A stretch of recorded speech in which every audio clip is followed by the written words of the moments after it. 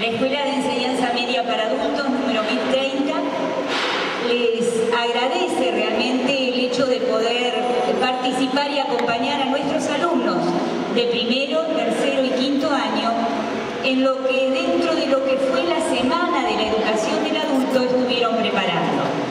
Quiero agradecer la presencia de los concejales, la señora eh, María del Carmen Mocelo de Benzo, el concejal Beltramone, por también estar presentes en este lugar. Agradecer la presencia de nuestra queridísima exdirectora Liliana Freuri, porque esto de alguna manera es lo que ella también muy breve, y, muy, de una manera muy pequeña nos había pedido, que la escuela también esté saliendo y haciendo cosas para que la comunidad conozca lo que es nuestra escuela. Agradezco a los exalumnos que se encuentran presentes, una gran cantidad de exalumnos y esto demuestra el cariño que se tiene por la escuela.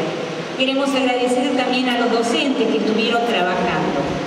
Y decía que lo que hoy ustedes van a ver son pequeñas cosas que se estuvieron trabajando para conmemorar la Semana de la Educación del Adulto. Cuando comenzamos en alguna reunión plenaria charlamos la posibilidad de hacer algunas actividades, nunca pensamos que íbamos a llegar a esto. Y por eso es que estamos tan felices. Eh, obviamente hubo una profesora que fue la que trabajó directamente con los alumnos, pero todo el resto de los profesores estuvieron acompañando y aportando sus conocimientos, su experiencia en la materia. Eh, nos acompaña la directora actual, que me estaba olvidando, Katy, gracias por estar también presente, no trajo a su bebé, pero bueno, se lo vamos a, perdonar. Vamos a, a recordar simplemente esto. Para nosotros la educación del joven, del adulto, es un derecho. Y es en esto que nosotros nos estamos basando y trabajando.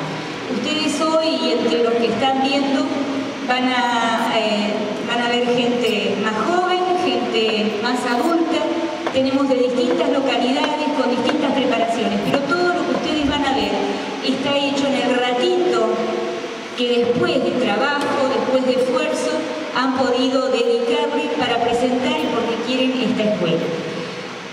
Los alumnos de primero van a representar en aquel sector, por lo tanto, ustedes a tener que ir girando.